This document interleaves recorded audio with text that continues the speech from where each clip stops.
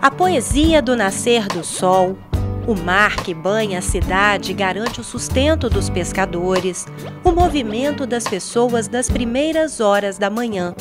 Essas cenas do cotidiano, registradas em sua maioria pela câmera de um telefone celular, resultaram da exposição Trajetos.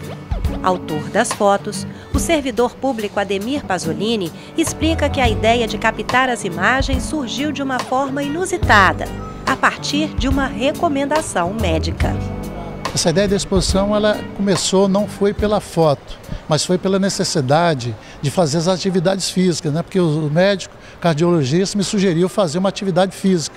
E como eu gosto de bicicleta, eu comecei a praticar a bicicleta, vir trabalhando né, há sete anos que eu trabalho de bicicleta. Passando pela orla, por alguns lugares, eu não tinha uma rota definida todo dia. Eu acordava de madrugada, num determinado horário, espontaneamente, olhava é, para o céu, olhava para a natureza e falava, hoje eu vou seguir esse trajeto. Pegava a máquina fotográfica ou celular e vinha para o meu trabalho. Dentre as mais de 50 fotos expostas, o autor destaca suas preferidas.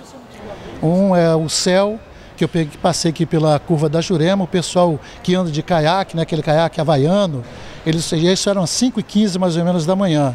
O sol nascendo e o céu muito azul.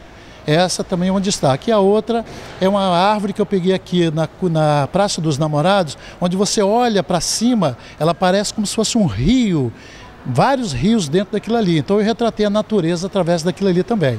Também tem uma que é de uma senhora que ela trabalha na praça, ela se coloca ali como manicure.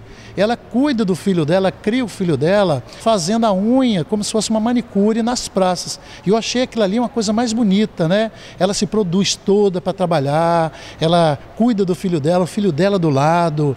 E se mostra surpreso com a repercussão do trabalho foi bem além da expectativa, né? Porque na questão de mídias sociais, as curtidas das fotos, das pessoas que estão falando das fotos, está sendo maravilhoso. E aproximadamente aqui umas 100 pessoas já compareceram aqui na nossa exposição.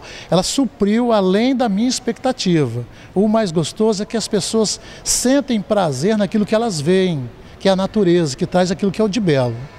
A exposição Trajetos está em exibição no espaço Eupídio Malaquias, no Pilotis da Assembleia Legislativa, até o dia 12 de novembro.